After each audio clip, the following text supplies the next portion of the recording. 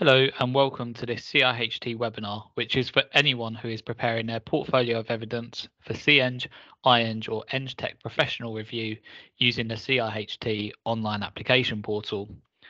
The purpose of this session is to tell you about some of the key things to consider and how to avoid potential technical issues when submitting your application. So, if you are interested in applying for professional review through CIHT, your application must be submitted via our online application portal.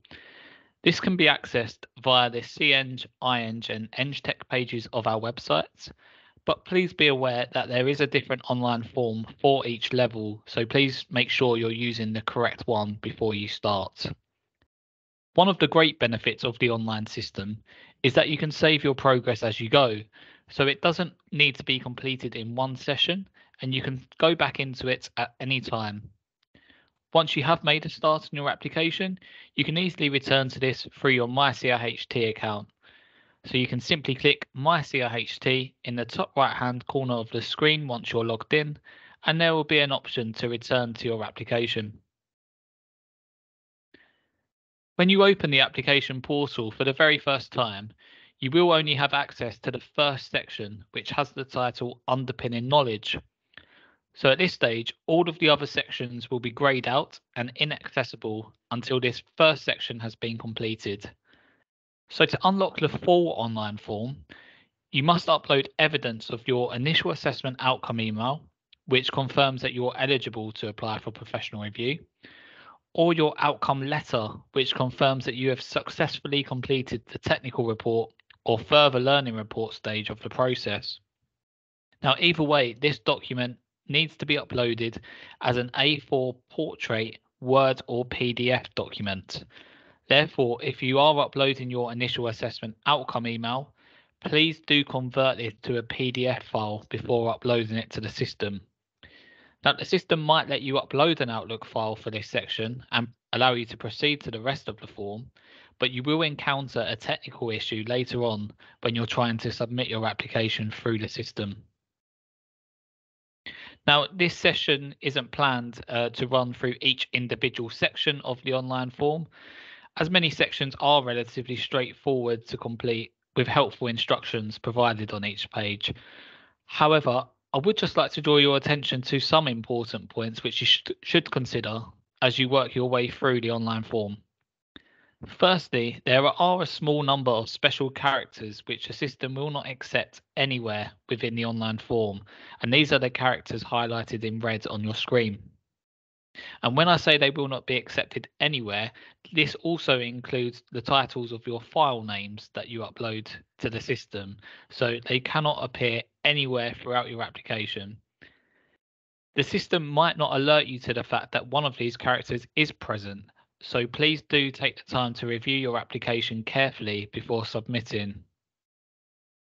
As per the last slide, it's essential that you seek to ensure all of your uploaded documents are A4 portrait, Word or PDF documents. The system will not accept any other document type. And I'll provide an example of why it's so important that you do upload in this format in the next slide. You should also be aware that the system does not have an embedded spell check feature. So again, please review the content of your portfolio carefully for any spelling and grammatical errors. Your two allocated reviewers will not know you and your portfolio is going to be the very first impression they have of you. And it's therefore extremely important that your application is presented in a professional manner. Finally, if you are copying and pasting from a Word document, Please note that this will only include special values and you will need to reformat this using the features provided on the portal.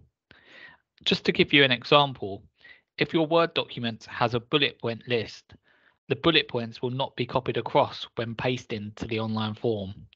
You will need to use the bullet point function on the form to add these in again. So just to once again stress the importance of your documents being uploaded in A4 portrait, Word or PDF format, the reason for this is because once all sections have been completed, the system will generate a preview copy of your application. If you have uploaded a landscape document, lists will not be fully visible in the final copy. As you can see from this screenshot of a CPD record, the text on the right hand side in the reflect column has been cut off as it's been uploaded to the system as a landscape document. You should therefore seek to rotate any A4 landscape documents so that they comply with the system requirements. If you rotate the CPD record on its side, this will ensure that all of the text is visible in A4 portrait mode. Now, don't worry, the reviewers will be able to rotate this page in the final PDF copy that they receive. Um, so you don't need to worry about them having to read this section with their head turned sideways. But for the purposes of submitting your application, you must ensure that all uploaded documents are presented in a way in which they can be clearly seen in your preview document.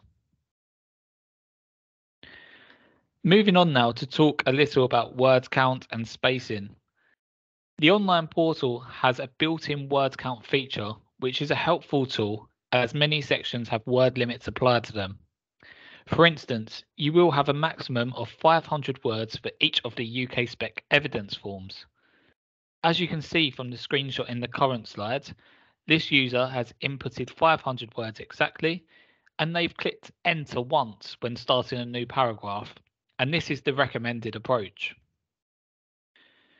But paragraph spacing is very important um, because if you were to click enter twice before starting a new paragraph, please be aware that this blank row actually counts as one word in the background of the system, but isn't actually reflected in the word count which you can see on the screen.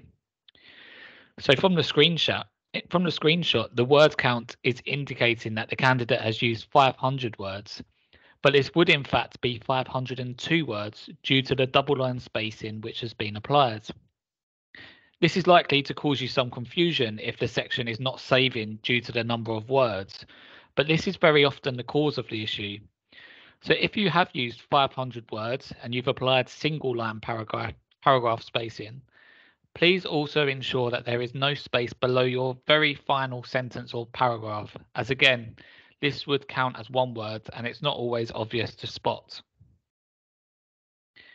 If you're uploading A4 portrait documents in Word or PDF, this screenshot here is a good example of how to present these in a format which complies with the system requirements. Firstly, please ensure that your appendices are uploaded in ascending order. Secondly, and very importantly, Please ensure that they are signposted within the text with clear corresponding file names, and you will have a maximum of three uploads per competence. If you have non-A4 appendices, which simply would be too difficult to display clearly as an A4 portrait document, our recommended approach is including a maximum of one URL within each UK spec evidence form it may also be tempting to include a URL within your A4 uploaded document, for instance, with an instruction to tell the reviewers to click here for a clearer image. However, please note that URLs should not be included in any of your uploaded A4 documents, as the reader will not be able to click on these in the final copy. Instead, any URLs must only be included within your UK spec evidence forms directly. If you do include a URL within your UK spec evidence form, this should link directly to a Word or PDF file and not a folder of documents. Another important point to note is that the file included as part of your URL must be readily available to anyone with access, i.e. they're not required to sign in to any sharing platform in order to view the file. And this needs to be set up by yourself to ensure that a reviewer can open the file at a quick single click of a button. So as just shown, try and avoid including multiple URLs within your UK spec evidence forms. Try and make the reviewer's experience of reading your portfolio as straightforward as possible without having to open up numerous different files. Now, as a reminder, your appendices across all competencies must not exceed 50 pages in total. So you will need to add up the number of pages used if you have included a URL, in addition to uploading any A4 documents through the system itself, and combined, these must not exceed 50 pages in total. Once you have completed all sections of your application, you can preview a copy to ensure that all of your documentation is appearing correctly and as you want it to. If you are struggling to read anything at this stage, please note that your reviewers are going to have the same problem when they receive your application. So if you do notice that you need to make a couple of changes to your application at this stage, that's absolutely fine. And you will simply need to edit the relevant section of the online portal as opposed to trying to edit the preview document itself. Now, it's important to stress that you can preview your application as many times as you wish before you proceed to submitting. So this is a really important step of the process to make sure that you're happy with the final draft of your application. Now, something which does form part of your application are your sponsor forms. Uh, your sponsors will be asked to complete a sponsor form and send this to the education team. Uh, they should only really be doing this once they've reviewed a copy of your final draft and confirmed that they're happy with the content and appearance of your portfolio. So once you've checked and you've rechecked the preview of your application and you're happy with everything, you can then proceed to submitting your portfolio. Now by clicking submit on the final screen, you will then be taken to the payment stage to complete your application. If you don't see a submit button on the final screen here, don't panic. This just means that we need to update our internal system to confirm that you're eligible to make an application for professional review. So it's not a technical fault or anything like that. It's just um, a small administrative process that needs to take place in order to make that submit button live for you. Thank you for watching this short video, which I hope you found helpful. If you do have any questions as you go through the online application portal, please feel free to get in touch with the education team at education at ciht.org.uk. Thank you.